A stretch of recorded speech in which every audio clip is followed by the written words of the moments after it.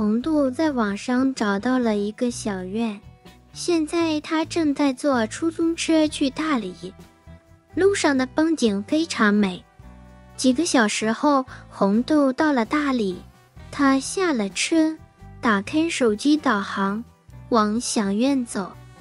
这个时候，一匹马跑来，马的后面来了一个大男孩，他在追马。红豆的手机掉了，坏了，怎么找到小院呢？他只能问路人。最后，红豆找到了小院的老板，他叫小春。小春非常好，小院也很好，红豆很喜欢。小春告诉红豆，大男孩的家在小院的前面。红豆找到了那个大男孩，他们家有三口人：奶奶、哥哥和大男孩。哥哥告诉红豆，他可以给红豆钱买新的手机，也可以修手机。红豆觉得修一下吧，不需要买新的手机。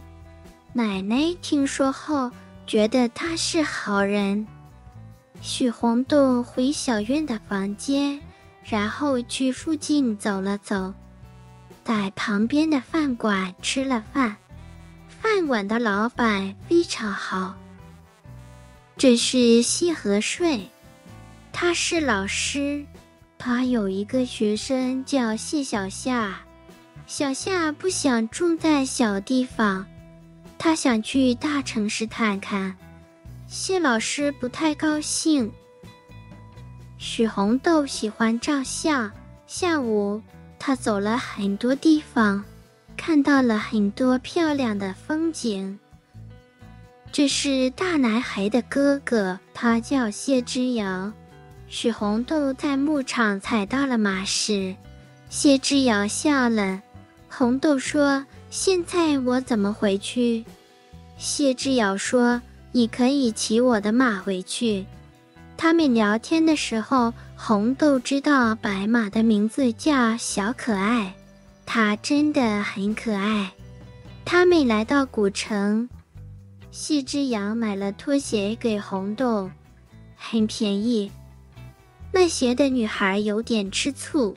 后来他们去了村里，晚上在细之遥的家吃了饭。宝平婶送牛肉给大家，大家很高兴。宝平婶知道谢小夏有点不高兴，希望谢之遥能帮帮他。谢之遥知道现在木雕很难，没有人想学，他想问问小夏怎么想的。晚饭后，许红豆给父母打电话，谢之遥知道他没钱。